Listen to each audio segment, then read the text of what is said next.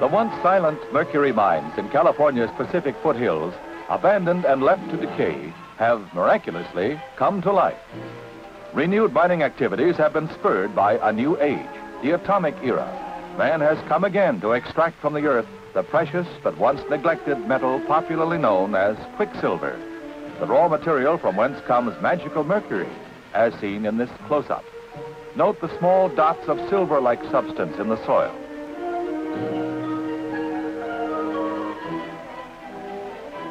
The fact is, mercury, not gold, is California's oldest mined metal.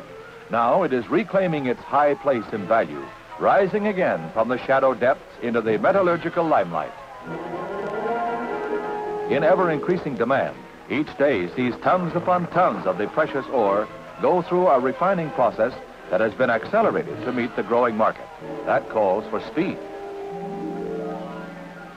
Early refining methods have been replaced by new and faster techniques. Now the crushed ore is placed in rotary furnaces where it is revolved slowly and fired at 450 degrees Fahrenheit. The mercury then rises from the ore in the form of vapor.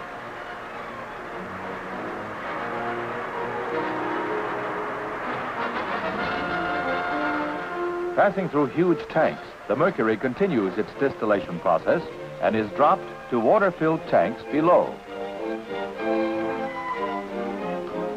These tanks are emptied and their contents placed in a lime tray. The lime allows the mercury to snake its way out of the dust residue from the process and fall into nearby containers.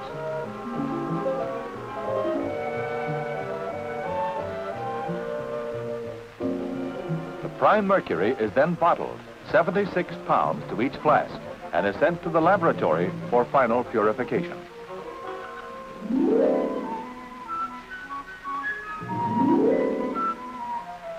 Named after the planet nearest the sun, Mercury has been useful in the realm of medicine, industry, and chemistry. Here is the final distillation process in extreme close-up.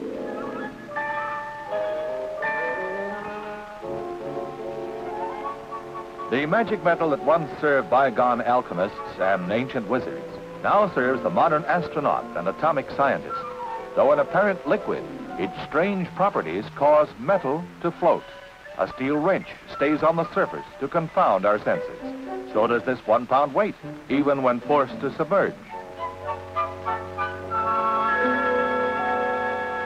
Surely Mercury, the magic metal, will be in the first spaceship to trigger to the moon, for its unending utility has spanned the milestones of the century.